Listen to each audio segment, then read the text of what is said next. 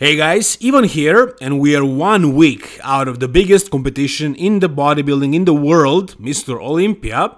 And for the past day or two, today also, there is radio silence. All the top dogs are not posting anything, they're probably preparing or traveling to Orlando, Florida, where Mr. Olympia is gonna be held. But I'm sure next week, in the days prior to the actual show, we're gonna see more of these guys. You're gonna see some sneak peeks and stuff like that, so guys, stay tuned. However, right now, it is calm before the storm. Right now, nobody is posting anything. We do have this photo of Nick Walker. He posted this a couple of days ago. As you can see, it was taken at 9 days out of Mr. Olympia. And based on this photo and so many others, I mean, this one is not really showing too much, but you can get the idea based on his shoulders, his chest, his arms, that Nick is bringing like serious size. I mean, last year, usually before the shows, before the big shows, Nick tends to get a little bit flatter, right? He tends to look a little bit, you know, softer, a little bit smaller, and then as the show approaches, he peaks and he gets big again and hard and full. But right now, he looks super shredded and he also looks really big, really full, really round. And I am sure that him and Matt Jansen are not changing their tactic. I'm sure what is happening here is a simple fact that Nick grew as much as we all expected he would. I think the numbers added up in the end. Like he was, you know, like 280 almost with a really good condition. So I don't know what his weight is right now, but he seems much bigger. He looks much bigger than he looked for the Arnold and bigger than Mr. Olympia last year. I'm really looking forward to seeing more of Nick Walker, you know, in proper poses, under some good lighting, like hotel room lighting, right? And like maybe when he puts a tan on and when he carbs up some and he dehydrates a little. So those photos, I'm sure, are gonna be completely freaky. And uh, yeah, I'm expecting this guy. I mean, I don't know what exactly I can expect from him. I know he won't be out of top four. That's like worst case scenario. But personally, I think he's gonna place higher than that. I don't know who he can beat, but I think he's going to beat at least one of those three guys: Hadi, Derek, or Samson. Maybe two, maybe all of them. Maybe he's going to win the Mr. Olympia. That's not impossible. We all know that his structure isn't perfect, but what he can do with his physique, the way he's posing, the way he's presenting himself, man, he can do a lot. And now with this newly added size and with the mistakes that they're going to fix that they made for the Arnold, like, you know, keeping the fullness, especially in the legs, and uh, just, you know, Matt learning about Nick's body more and having the off season, having the entire year of working consistently, I know they're gonna bring something special, something crazy. I do also know that Samson is going to be improved. I know that Derek is going to be basically a new bodybuilder. I believe that Hadi can be better a little bit, but if he stays the same, that's also very dangerous. So anything is possible, really, but based on what I'm seeing right here and in all the physique updates that Nick posted so far, I think he has a really good chance. Personally, I have him in my top 3. I think worst case scenario, Nick will be in the same spot like last year, third, but there is a big chance that he's gonna climb up that ladder this year. What do you guys think? Alright, next we got a physique update, a posing video, you're gonna see more of his physique in a moment, of Behrouz Tabani who unfortunately will probably not be able to travel to the US and it seems like he's not getting that visa. Monday is the last day that it can happen. If it happens, he will somehow made it in the final moment, but if it doesn't, then it most likely won't happen. He's going to be doing Romania Pro and other post-Olympia shows in Europe, which it's cool and I, I believe he's going to win those shows and qualify for the third time, but I don't know how is this guy ever going to get to the Mr. Olympia. Look at this physique, man. Look at his physique. This is top 10 material. I mean, he's not completely dialed in here. And if he knew that he is going to be able to compete, I'm sure his stress levels would be so much lower and his physique would look so much more impressive. But even like this, it's a really good physique, man. It's a really good physique. I mean, these Iranians, they have something special about their physiques. They all have the same kind of hardness, roundness, like that, that freak factor. And um, uh, for example, Hadi, like he has the same things. Like he has that hardness, the, the crazy conditioning, and also that plastic sort of look, if you know what I mean. But he doesn't have the best like shoulders and arms and forearms. This guy does. I mean, I'm not saying he's better than Hadi, but potentially he might have more potential, right? Like if he gets, I don't know, 20, 30 pounds bigger, I mean, this guy can be really, really good. And I believe this year he would have a fighting chance to crack that top 10. But unfortunately, they won't let him travel to the US. And this begs the question whether Mr. Olympia should be held in the US or maybe move to, I don't know, some neutral country where anybody can go to, such as Dubai, for example. I'm pretty sure they're not gonna do that because the majority of the fan base is in the US and they wouldn't make as much money uh, selling tickets in Dubai. So I get it, I understand, it is a business after all, but realistically, it would be fair because I mean, there are so many great guys who aren't able to travel to the US and compete against the best in the world. So like Hadi Choopan wasn't able to travel, I think prior to 2019. I think like one year or two years he wasn't able to. So maybe he would have won the Mr. Olympia that year. Or at least placed in the top three. So the results really aren't legit. Like there are better bodybuilders who want to compete, who can compete, who are qualified, but just can't travel. So you know it is it's it's it's a bad situation, but it is how it is this year. I mean, it's still not over. There is still a chance maybe something will change by Monday, and uh, this amazing athlete right here will be able to compete against the very best in the world. I still hope so, but yeah, most likely it's not going to happen, unfortunately. What is happening with GoodVito? He posted this story Oh, of his back right now in the off season. As you can see, this is an off season. I mean, he does look humongous, but what the hell happened?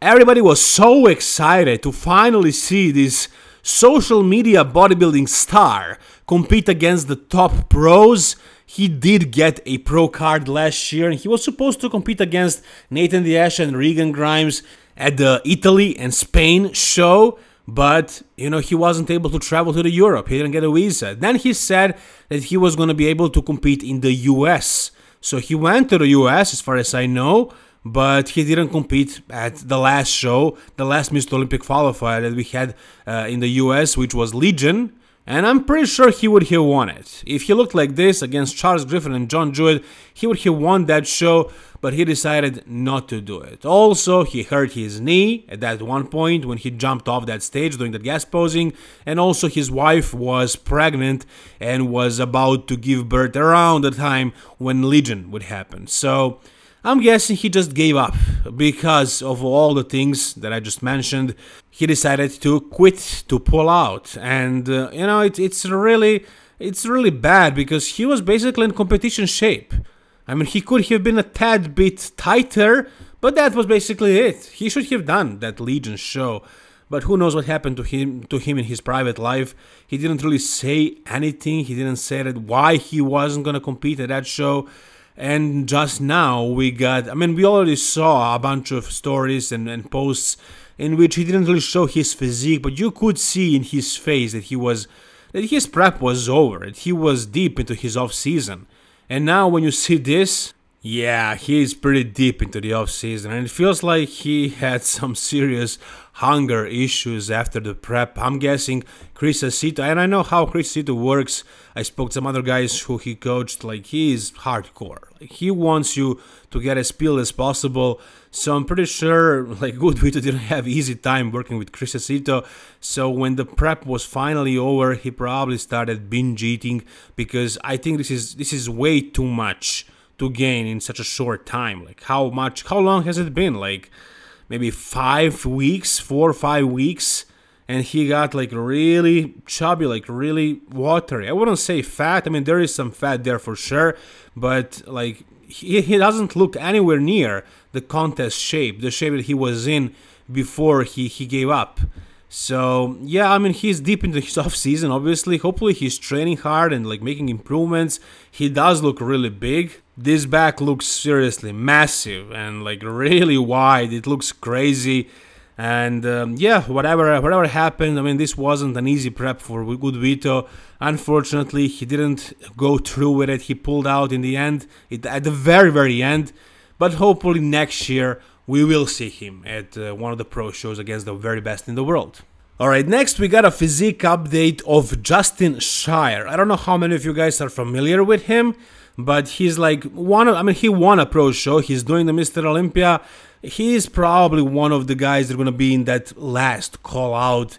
I mean, I'm a fan of his physique, it's phenomenal and all that, but it needs to get bigger in order to compete against the very best. I mean, it's like from all the show winners, uh, this is one of the, the I don't want to put him down, but like there are other guys who are better than him. I mean, he's a rookie. Like he turned pro uh, a year before, and this year he already won a pro show, and he's doing the Mr. Olympia. He's doing the Mr. Olympia. Uh, he could he could have like taken a break and you know made more progress and competed next year. But I think I mean he said that he wanted to utilize this opportunity to actually you know uh, have this Olympia experience and I don't think he really expects much to do, and I don't as well. I mean, he has a phenomenal physique, a really good shape. Hopefully, he will. I mean, uh, Matt Jansen will get him like super shredded.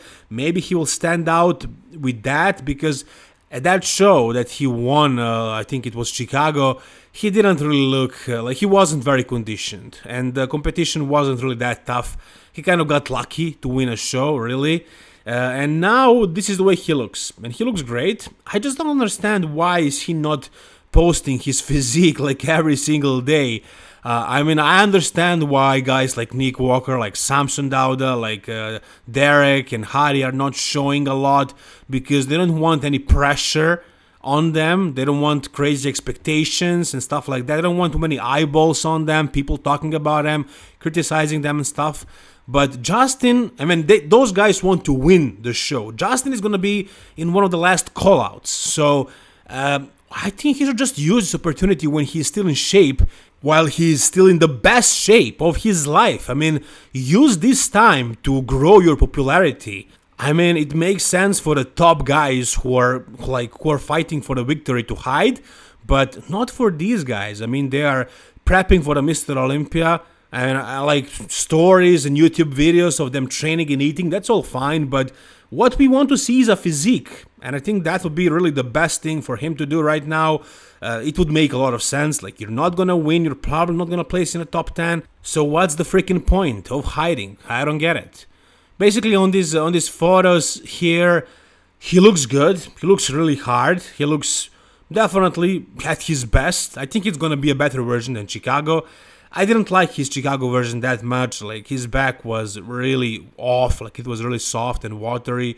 I think if they do some things differently, they can pick him much better and he will present himself much better on that stage.